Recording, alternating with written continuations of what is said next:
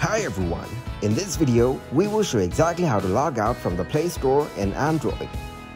First of all, open Settings. Go into Users and Accounts. Click on Google. Select your email. Click on three dots. Then tap on Remove Account. Confirm to remove the account. And that's it. Thanks for watching and please leave a like, subscribe and share.